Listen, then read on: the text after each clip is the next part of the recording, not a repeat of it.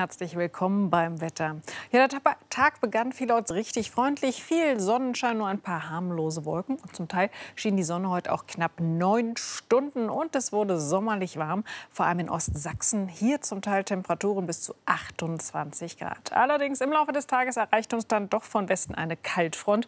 Und die hat es ganz schön in sich. Zum Teil waren da heftige Gewitterbrummer mit dabei. Zum Beispiel in Strauch am Nachmittag in Sachsen. 17 Liter Regenwasser pro Quadratmeter in kurzer Zeit. Zeit. In Gasebach bei Meißen fiel die Temperatur mit einem Gewitterguss 10 Grad von 25 auf 15 Grad. Und im Moment liegen hier noch Schauer über uns. Vereinzelte Gewitter sind eingelagert. Die ziehen allmählich nach Osten. Das heißt, in den nächsten Stunden wird es vor allem in Sachsen zum Teil noch nass. Zum Teil wird es auch kräftigen Platzregen geben. Dann danach wirklich nur noch einzelne Schauer, die hinterherziehen.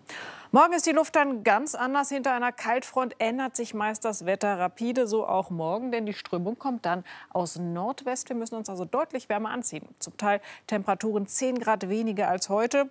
Dabei kämpfen morgen dieses Hoch gegen dieses Tief. Das heißt, das Wetter ist so ein bisschen durchwachsen. Wir sitzen zwischen den Stühlen. Mal Sonnenschein, mal Wolken, aber einzelne Schauer sind nicht auszuschließen. Und man sieht hier auch, die Isobaren sind relativ gedrängt. Das heißt, morgen wird schon fast ein bisschen herbstlich. Der Wind frischt auf, lässt die Temperaturen tiefer erscheinen. Und in den Bergen sind sogar Sturmböen mit dabei.